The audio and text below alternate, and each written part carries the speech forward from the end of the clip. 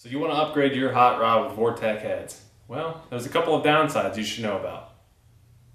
Okay, so let me get this off my chest and start off by saying Vortec heads are great. I'm not going to be hating on them too much on this video. But before I go into all the benefits of these guys, I, I really want to show you guys what the downsides of putting a Vortec head on your uh, standard small block Chevy could be.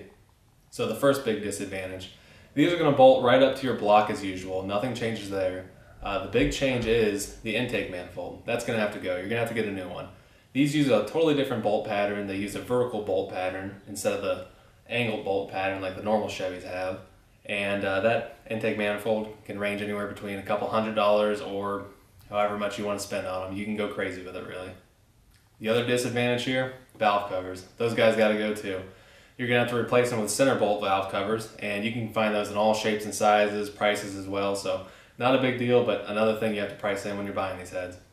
All right, so the big disadvantage on these Vortec heads, that's the valve spring.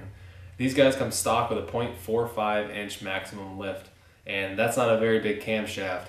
Uh, for street use, that's totally fine. A lot of guys are going to be totally fine running that. Your camshaft's not going to be close to that. Just a nice mild cam would be perfect for that. However, if you're looking for anything larger than that, you're going to have to upgrade these valve springs.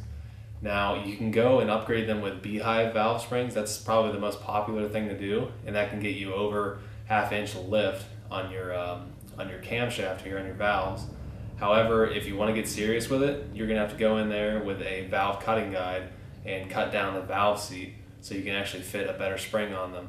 That's just the way they're designed. Uh, you guys can look up. There's tons of videos of how guys can do this. You can actually buy a kit and uh, you can cut it yourself at home if you're daring. So really that's all the disadvantages there are to these Vortec heads. Now let me go over some of the advantages here and tell you why you really should be considering one of these for your hot rod. So one of the biggest advantages guys love about these Vortec heads are the combustion chamber. These guys run a 64cc combustion chamber stock, so that's a big upgrade from your old 72cc or even worse combustion chamber from those old heads. Another big advantage for these Vortec heads are the airflow. These guys flow a lot of air for stock heads, one of the best you can buy. I believe they're rated around 170 cc, so that's a big uh, upgrade for a lot of the old Chevy heads. Okay, so the biggest advantage of these Vortec heads, guys, it's the price. For a 64cc chamber head and how great they flow, these things are pretty dang cheap. You can find them on Craigslist, you can find them on eBay all day long, uh, used or remanufactured, anything like that. Look online, guys. I bet you guys can find a good deal on them. Okay, so one big tip here, guys, if you're looking to uh, buy Vortec heads, especially in the aftermarket, uh, make sure you're looking at the casting numbers inside the head here.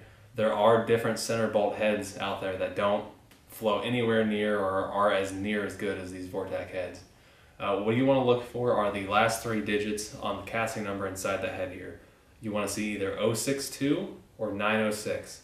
Those are the two types of Vortec heads you want to see. Those have 64cc chambers, all the good stuff. Uh, if it doesn't say that, don't get tricked. Okay, so that's all the advantages and disadvantages I can think of for these Vortec heads. If you guys are looking to upgrade your engine on a budget here, these guys are great. Uh, they'll upgrade your compression ratio, your flow most likely, and uh, they'll really make you happy. I can't recommend them enough. So if you guys uh, like this video, go ahead and subscribe if you want to see some more. Uh, thanks for watching though, guys. I'll see you in the next one. Got? What do you got? What do you have? Are you supposed to have that? Bro.